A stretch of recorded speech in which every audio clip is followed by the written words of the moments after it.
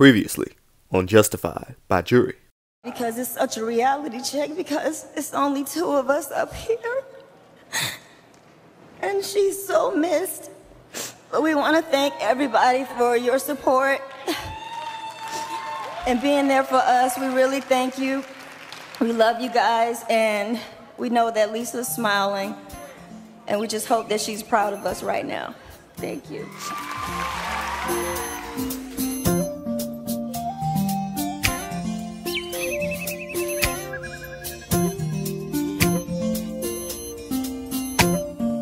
From the time Brittany Murphy was little, she had big dreams of being a star, whether it was in local plays, on Broadway, in the movies, in the studio, or just in the comfort of close friends. She had a knack for being a full on entertainer and would be blessed to achieve heights that most only dream of. However, as she continued to rise, strict demands and extreme pressure to adhere to the beauty and behavioral standards at the time took away the joy in her passion and left her with an empty void that the wrong people would fill with poison, which ultimately led to her demise. You're watching Justified by Jeury, and in Chapter 9 of the Unfortunate Demise series, we will detail Brittany's early years, her rise to fame, her falling in and out of love before ending up in the wrong hands, her strange death, and the never ending series of unfortunate events that go on to this very day. Let's get started. Born in Atlanta on November 10, 1977, just a day shy of good luck. Her early years were less than ideal. Her Italian father, Angelo Bertolotti, was a World War II vet and a mortician, but he also ran with the mob in upstate New York and racked up several convictions over the years, serving time for many of his crimes. Her mother, Sharon Murphy, split from him when Brittany was two, and Brittany would be forced to leave her half siblings and move to Edison, New Jersey to be raised solely with her mother. Growing up, times were tough as Sharon struggled financially, and the two would eat spaghetti night after night because that was all they could afford. Yet and still, Brittany would express her talents as a toddler by putting on shows for her mother and family friends. She would take up dance lessons, and by the time she was nine, she was acting in the regional theater production of the musical Really Rosie. And right off the bat, her acting coaches noticed her spark and saw her zest for the arts at such a young age. She truly stood out and had all of her plans mapped out. Broadway or Hollywood. First I wanted to go to Broadway, then Hollywood. And then I just want to do a bunch of things. Going into entertainment using her mother's last name, she would fly to New York and film several commercials over the years for brands like Twix, Honey Bunches of Oats, and 90210's doll collections. But beyond having a pretty face, People could tell that she had the bubbly girl next door personality that would make great for television. You have like a good personality. So, Brittany, where are you from? Edison. Edison? Yeah. And you come to the fair every year?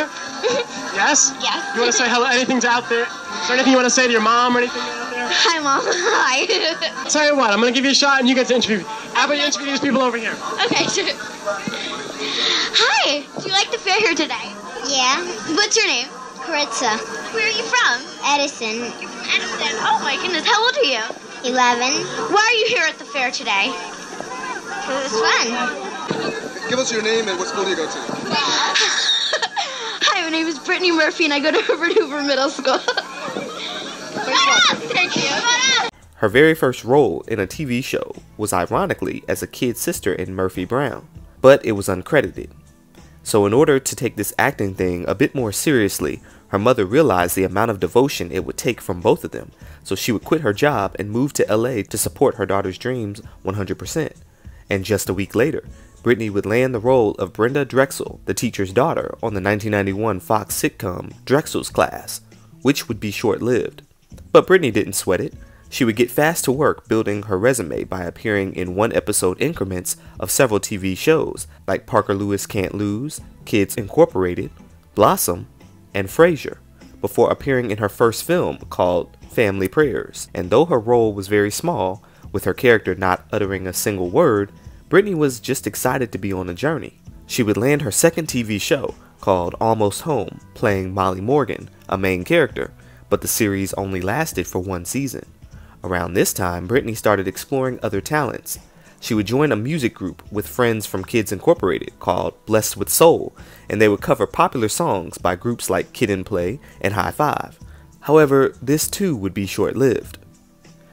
Brittany would snag recurring roles in shows like Sister Sister and Party of Five before she would finally get her big break as Tai in the 1995 cult classic, Clueless. Her character is a transfer student who instantly stands out due to her differences in appearance and attitude towards the other students. Her character is given a full makeover to make her appear more attractive and popular. After that fails, it's realized that Tai's personal substance is what's important and wins people over, rather than looks or popularity, which would prove to be prophetic for Brittany in real life. And then there was her most viral quote You're a virgin who can't drive. Though the main character Cher's image is what Hollywood idolized, it was Tai's fun, goofy, yet cutesy persona that captivated many audiences, and what many teen girls and young women could relate to. She would be featured in the Clueless spin-off series briefly, along with appearances on Boy Meets World and seaQuest 2032. Her voice being equally captivating and full of character, she provided the voice of Luanne Platter on the animated series King of the Hill, which spanned her entire career, appearing in 254 episodes total. She lightens up all the dark corners of my head. She like comes from the the the brightest most corner of my brain. She's very happy and joyous and very hysterical. Look, Aunt Peggy, I got my practice head. It's got real hair and everything. Well, Luanne, it's a very nice head. Don't touch it! She went on Broadway for A View from the Bridge in 1998, but Hollywood would come calling for her once again, this time to film thrillers and eventually horror films, as many producers and directors felt like she was perfect to play opposite the dark, twisted, and vile characters as she was able to channel and feed off of the dark energy that came with stories like Girl Interrupted, The Devil's Arithmetic, and Cherry Falls. However, though she had good looks, Hollywood had a certain standard of beauty at that time, in which the majority of lead roles for women that involved being sexy were catered to skinny blondes.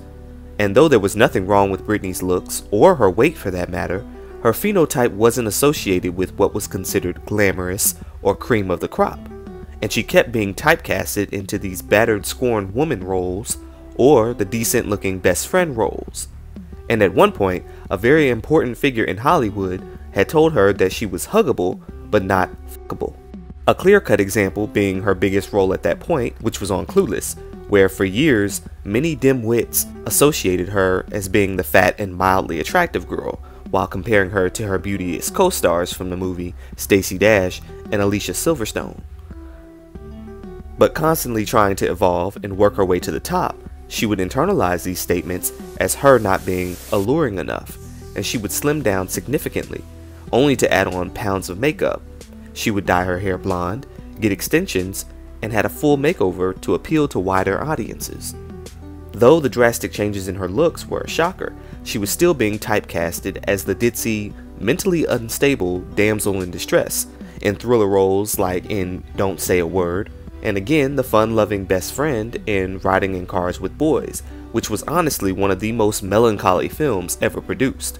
The bleak reality was so authentic and the acting was so phenomenal. So if you want to be upset and frustrated with absolutely no resolve, definitely watch this movie. But it would be her role in Eminem's 8 Mile that would thrust her back into the limelight on a macro level, and her character being unlike any other she had portrayed was fierce, sexy, a diva playing by her own rules, but Brittany's girl next door charm gave the character her vulnerability as well. Finally, she was able to be seen in her glamour and for her true potential. Her and Eminem's flaming connection on the screen was said to have been very much present off the screen. What now? Is there was there was there romance here? Actual, not big screen romance, but you, you know what I'm saying? Why, Dave, I'd never kiss and tell. Well, no, okay, but uh, I'm talking about off the silver screen. Yep. Yeah, what? Yep. Yeah. Yeah. Sure. Really? yeah. Yeah. Sure. And, and how did how, how did that go? Uh, well, it went. It, it came and went. In any case, Eminem was a rapper in his prime years, and you know how that go. Ain't no settling down at that point in most cases. But the best in Brittany's career and in her love life was yet to come, as her appearance in 8 Mile opened up the doors for her to be cast as the leading lady in several films like Little Black Book, Uptown Girls as a nanny to Dakota Fanning's character, and Just Married with Ashton Kutcher, and the chemistry that they had together on and off the screen was that carve your initials into a tree type of love. So simple, goofy, yet full of life. But not without its rainy days. It did help that Brittany had now achieved the skinny blonde look that Ashton himself was a particular fan of. Before Brittany, Ashton himself had dated two skinny blondes, both named Ashley.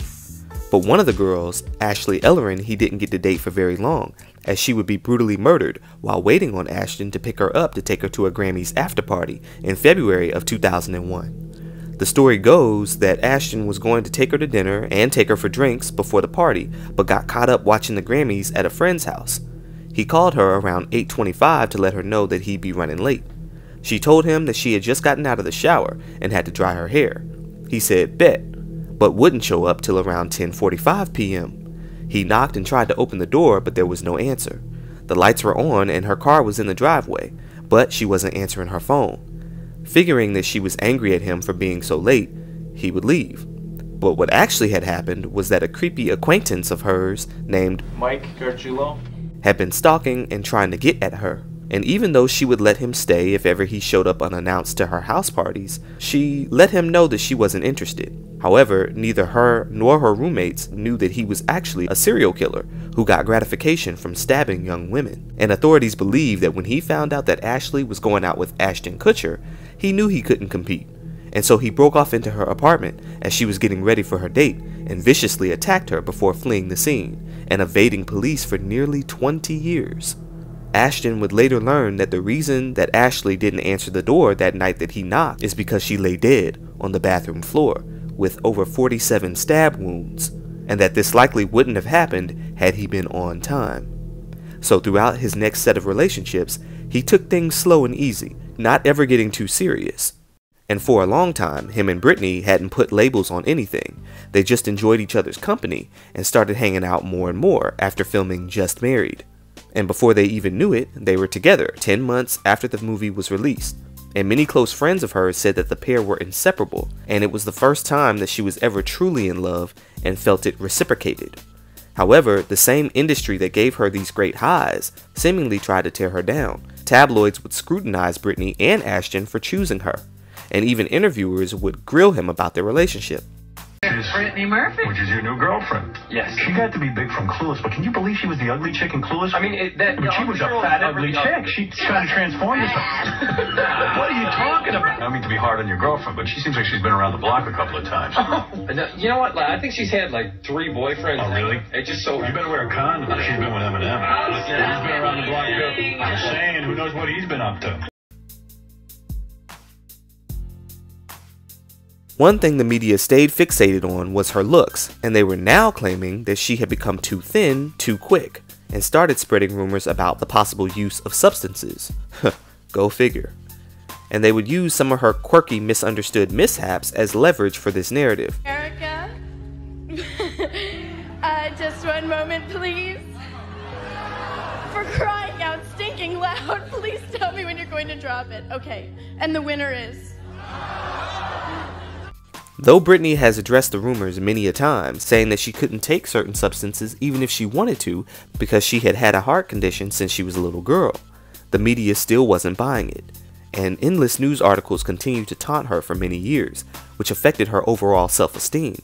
She said she read every comment about her, whether negative or positive, and just imagine experiencing that on such a major level, it seems quite daunting, especially with the negative headlines being out there for the whole world to see as well as her relationship with Ashton coming to an end in front of everyone after less than a year together.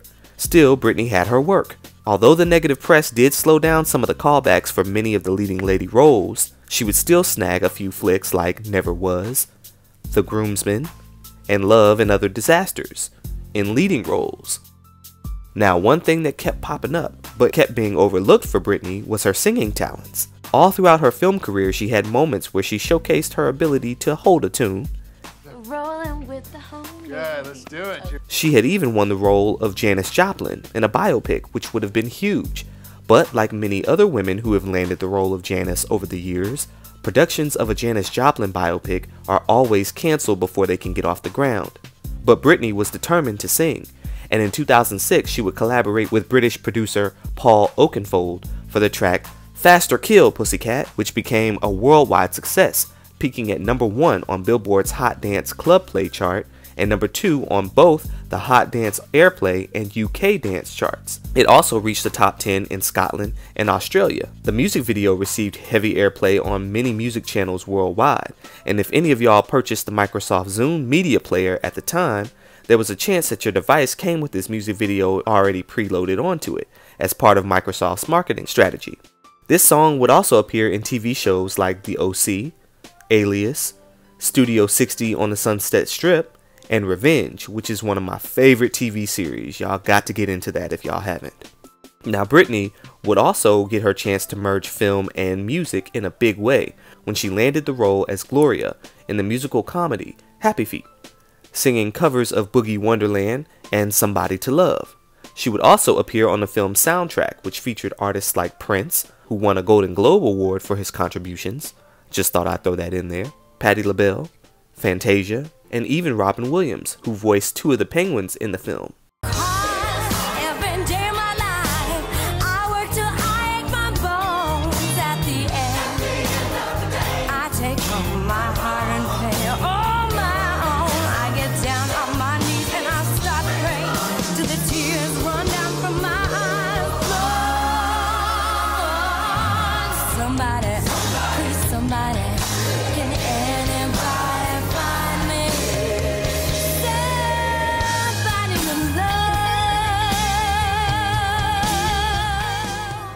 The movie was her biggest success in animation for a film, but still there was something missing from Brittany's life, and that was true, long-lasting romance.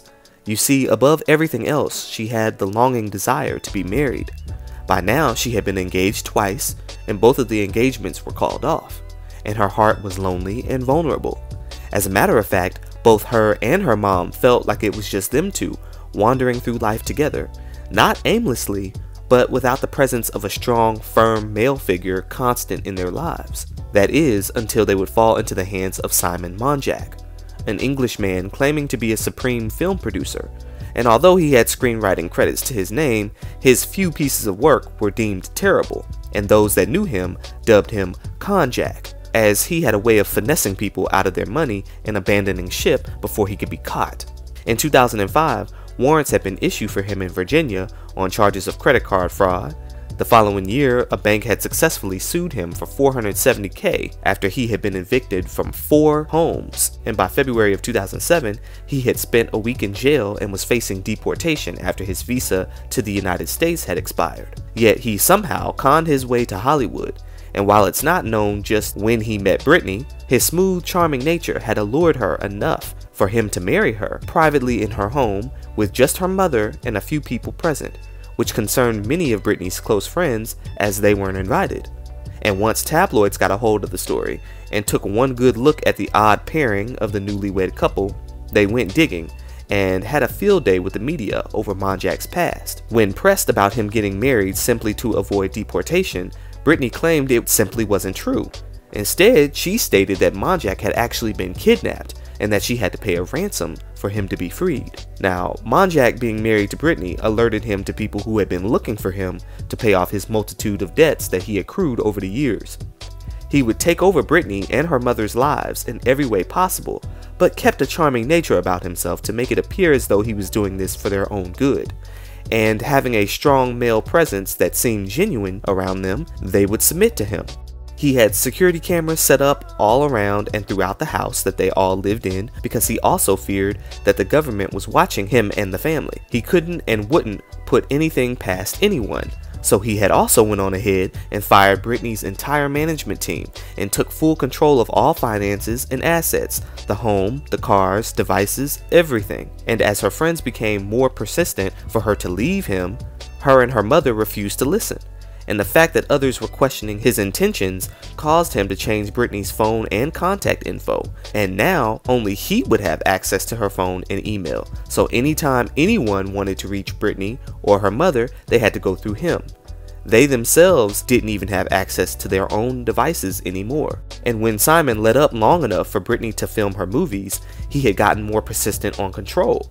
He became her makeup stylist, and he wasn't doing such a hot job at it, and he had strict rules for her, as for every extended break, she had to go sit with him in the car or in the trailer, depending on the budget of the film. She wasn't allowed to do any super intimate scenes with her male co-stars and was strongly discouraged from speaking to them on set once the camera stopped rolling. Simon would also criticize her weight and kept her doped up on different prescription medications, so she grew incredibly thin and would show up to set slurring her words and forgetting her lines. Things had gotten so bad that film directors from 2008's The Ramen Girl and 2009's Across the Hall would clash with Simon over his dominating presence because, as they put it, if they had any issues with Brittany, they were again encouraged to take them up with Simon. They would basically have to threaten to remove her from the set in order for him and her to get their act together. Even though they kept her on board, other film productions did not. She would be dropped from appearing in Happy Feet 2, allegedly over substance abuse allegations. Her character was written out of The Expendables entirely, and Disney had dropped her from the 2008 Tinkerbell film. And by the fall of 2009, during the filming of what would be her last movie, called Something Wicked, a source who was on set said that Brittany was barely there and would go in and out of consciousness in the middle of takes. By November of 2009, herself, her mother, and Simon would all fly out to Puerto Rico to film another movie, The Caller. But after similar issues arose, and Simon reportedly having verbal altercations with cast members and physical altercations with locals, it was determined that Brittany and her team were better off omitted from the project, and she would be fired on day two of filming. Now, while in Puerto Rico, all three members will become very sick, and on the flight back home, Simon would suffer a mild heart attack, and Brittany attempted to administer CPR on the plane and said that he was simply just having an asthma attack. When they landed, he was dazed and confused, with EMT taking him to the hospital against Brittany's wishes. It is believed that due to all of the negative press that they had been receiving, neither her, her mother, or Simon wanted to go to the hospital for any treatments as they didn't want tabloids running even more stories of them. Simon had suffered seizures often, and her mother, Sharon, is a breast cancer survivor who was suffering debilitating neuropathy constantly. And Britney herself was anemic with a heart murmur and had suffered chronic pain in her jaw stemming from a horrific car accident that she suffered in 1995 immediately following her breakout role in Clueless. So, though the family tried to avoid being seen at the doctor's, they also had a mountain of different prescription medications in excess of 90 different bottles with different aliases to keep themselves doped up and away from the pain. Though still sick, she would make her last public appearances in early 2009. And that ambience, of course, fed into a film such as this. Um, I'm sorry, you were asking me about June. Yeah, why do you think she ultimately cheated? Um, I, I, I don't know June's actual reasons for cheating. I, I'm very different from June. very, very different. And really quick, last question: Is it easier? Do you find it easier to film comedies or thrillers? What comes more naturally to you?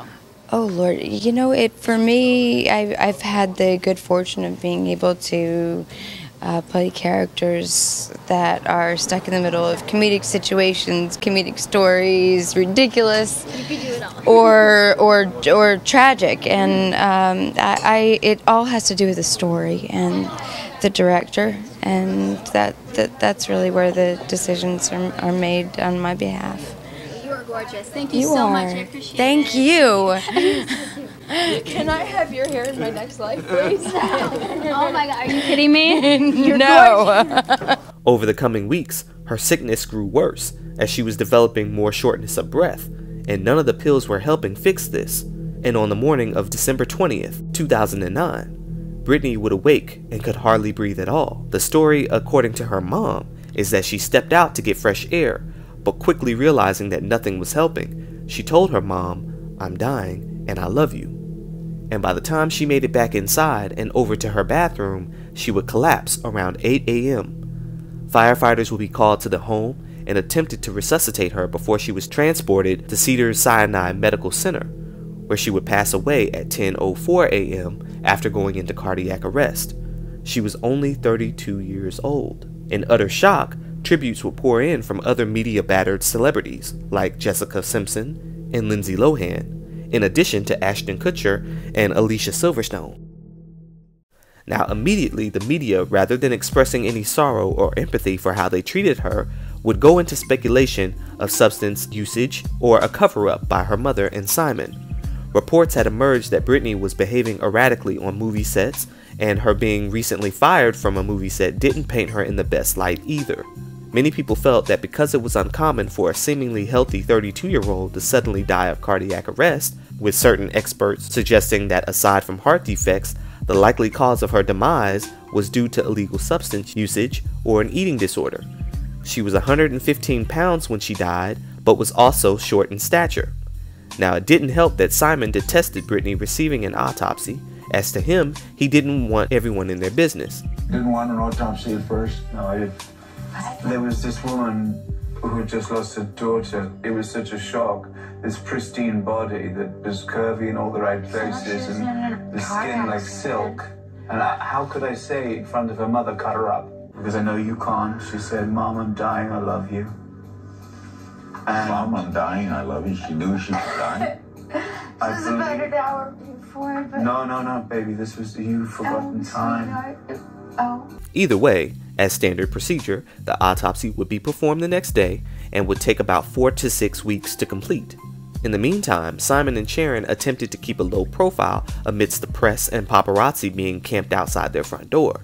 However, when he did open up, it was to only a few close reporters, in which he defended himself against the allegations, saying that he wasn't in control. He said, She found love, we found love. Brittany didn't get to where Brittany was with anyone controlling her. Brittany was Brittany, and he blamed the death on the media, saying that the nature of this town is exploitive. Brittany would be alive today if she was a housewife in Edison, New Jersey, or a successful person in another business. And when the autopsy results came back, the manner of death was listed as accidental, and the cause of death was pneumonia, with secondary factors of severe iron deficiency anemia and multiple substance intoxication. The coroner found elevated levels of several over the counter and prescription medications in Brittany's system, with the most likely reason being to treat a cold or respiratory infection. The report observed that the possible adverse physiological effects of elevated levels of these medications cannot be discounted, especially in Brittany's weakened state. But the general public weren't satisfied with that answer, and many people close to her sought to get a second opinion.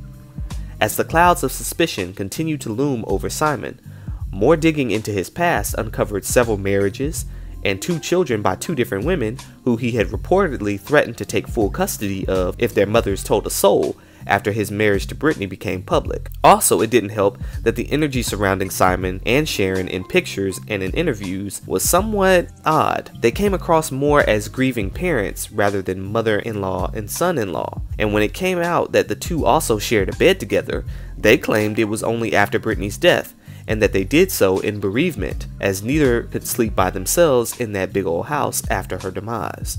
Over the next few months, Simon was under constant attacks from people who determined that he was the villain, and if he was trying to appear innocent, it definitely wasn't working. We have, we have, we have a job to do. It's called the Brittany Murphy Foundation. Him and Sharon established the Brittany Murphy Foundation, a charitable fund for children's arts education, as well as supporting the USO and cancer research. And they were trying to throw together a fundraising memorial event and encourage the invited guests, many of whom were mostly industry people, to make donations in excess of several thousands of dollars. You know, in memory of Brittany. But after a record search revealed that the foundation's non-profit status had not been filed, the foundation was forced to refund donations, if any, that they had received.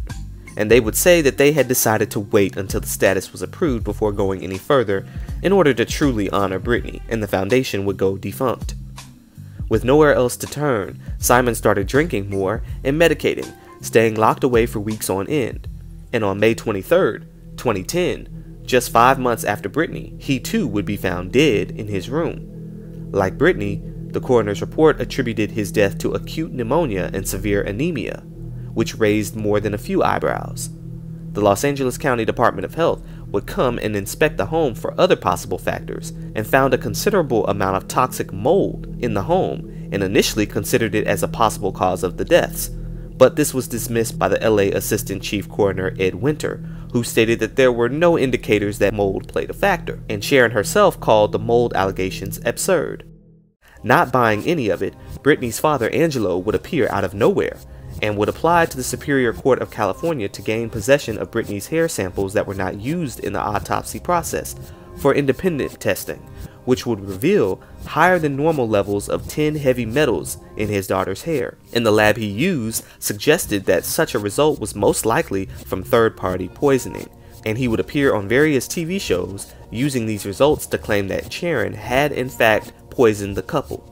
But Sharon would fire back, claiming that this was nothing more than a money grab from a man who was never a real father to Brittany, but simply used her celebrity status to extract money from her since the dawn of her career.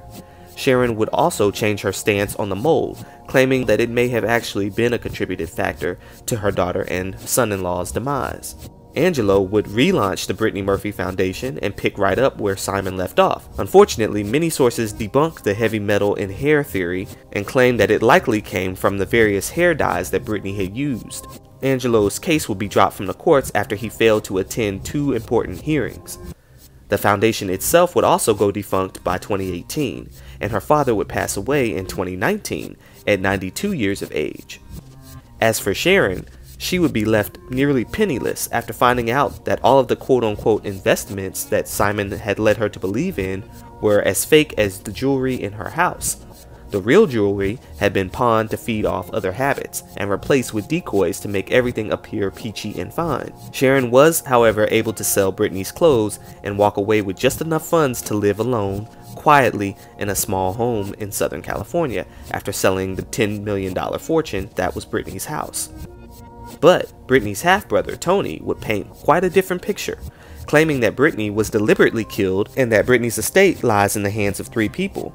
Sharon, an editor of a major Hollywood newspaper, and also a diabetes doctor from Miami that she was seeing. Those were the names on the estate. As for Brittany's demise, Tony says that the only other person that knows what really happened is the butler, who had quit and had confided in Angelo before he died. Huh. This of course leaves more questions than answers. There have been a few documentaries about Brittany over the years, like the HBO special, which actually dives more into Simon's life than anyone else's, and the god-awful Lifetime biopic, which, if you watched Orange is the New Black and remember the character Madison, yeah, they got her to play Brittany. And much like Lifetime's Aaliyah biopic, this one was a travesty. Brittany's real life story is still waiting to be uncovered, and the rabbit hole gets deeper and deeper, and it's unclear if nearly 14 years later we'll ever get any true resolve as Brittany's legacy remains shrouded in mystery and dark reminders of what could have been. As far as having a New Year's resolution, I'd love to have a child next year. She had plans to start a family and was said to have been working on her debut album, but the time ran out much too quick. Rest in peace to Brittany Murphy. You were a light and inspiration, even as the world attempted to drain the life out of you and your passion. But we, the fans, are going to continue to cherish your works. This is Justified by Jeury. Y'all know how to hit that like, y'all know how to hit that subscribe. If you want to, do so. And I'm going to catch y'all on the next one.